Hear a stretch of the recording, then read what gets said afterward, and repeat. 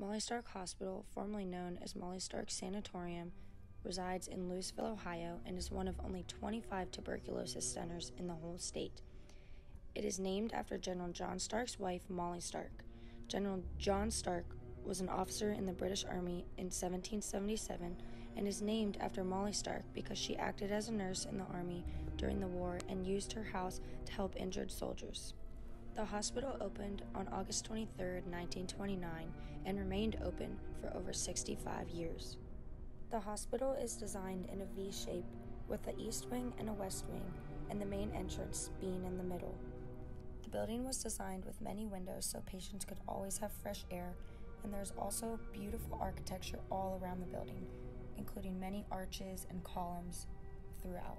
In 1938, 1,200 feet of tunnels were installed to make transporting patients easier from one wing to the other wing.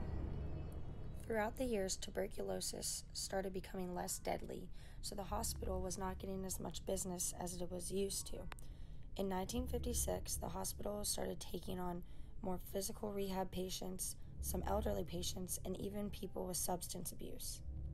In 1970, the last of Molly Stark's remaining tuberculosis patients were transferred out into different hospitals. For the next 25 years, Molly Stark remained in operation. Although its original intent was a tuberculosis center, it was not being used for this anymore. Therefore, it was not getting as much business and it was having trouble making money. So, Molly Stark Hospital eventually closed in 1995. Since 1995, the hospital has sat empty. It was like everyone dropped their stuff and left. The city of Louisville began to have problems with people trespassing, so they had to put up a fence. Though they put up a fence around the building and put signs everywhere that said no trespassing, people still cut the fence and went in. This is where the paranormal activity started happening. There have been many accounts that people have heard beds dragged across the ground. People have even said that they have heard their names been called when they swear they were there by themselves. This legend is so popular that over 60 people have been arrested for trespassing. Everyone says that they are on a quest to find the paranormal activity, according to Louisville police. And now we will interview she who shall not be named about her experience in this haunted place around 15 years ago. What made you interested in the Molly Stark Sanatorium?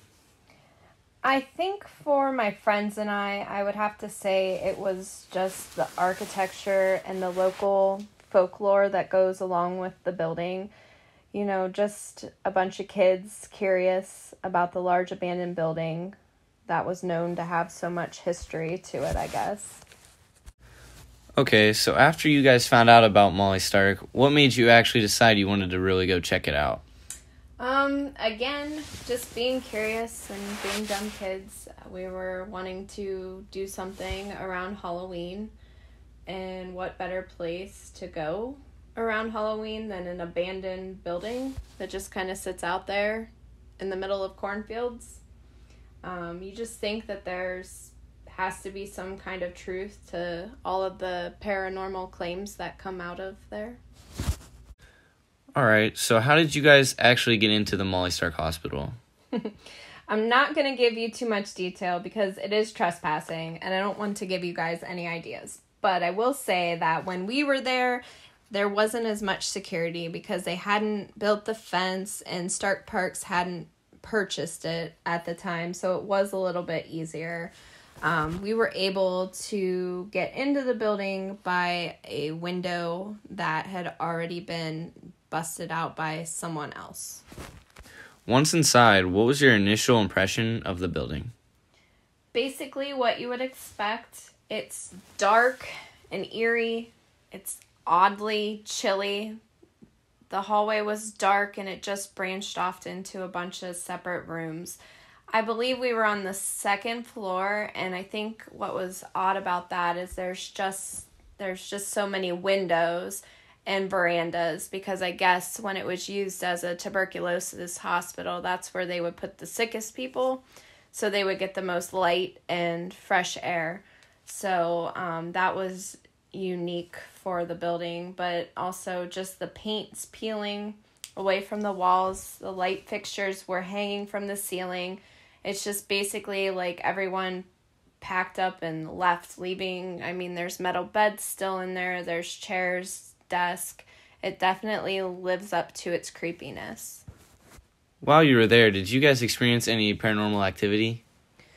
Well, I mean, I'm familiar with all of the stories that go with the building. I mean, there's lots of stories of people hearing like steel frame beds being dragged across the floor. Um, some people have said they've heard chains, hearing their names called out. Um, there's even one story that is in, that's been told over and over about a brown suited apparition that appears and ghostly figures in the windows. Um, I mean, there's definitely a sense that there's something there, but no, I didn't hear or see anything while I was there.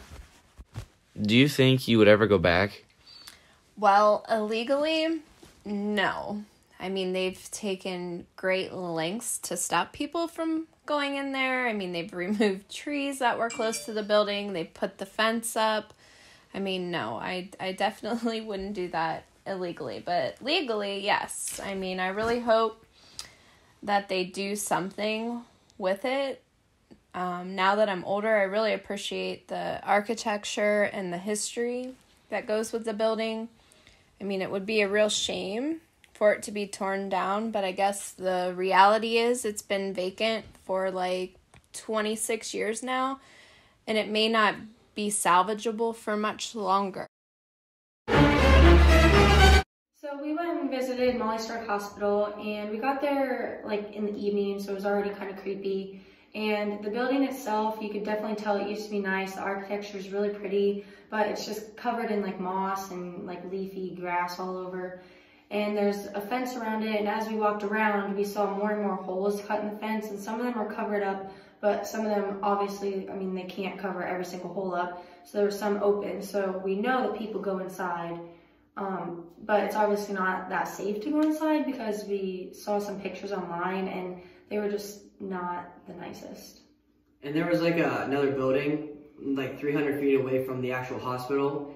And it was uh, what we believe to be like a check-in area, like a sign-in area for the patients. And it is, it's not as big as the hospital. It's really, it's actually really small.